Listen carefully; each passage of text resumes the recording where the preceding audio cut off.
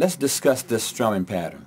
What we're doing here is we're just going up and down eighth notes like this. One and two and three and four and one and two and three and four and. But we're emphasizing certain strums. So like that. So we're going down, up, up, down, up, up, down, up, up, down, up. Okay, now when we start, we're going to just emphasize the down, up.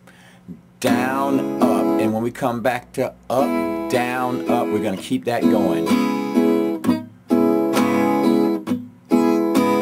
Just like that. And now what I'm doing is squeezing when I need my chords on my chords here and muting in between. So. Like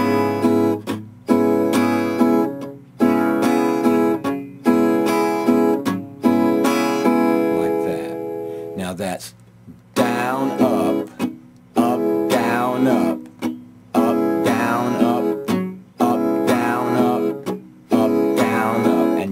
chord progression, it would go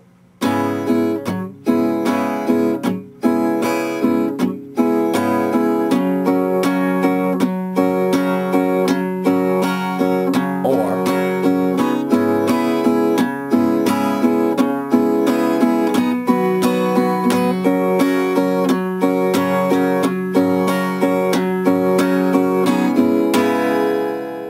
all right, and That's our strumming pattern. Thanks for watching and have a great day.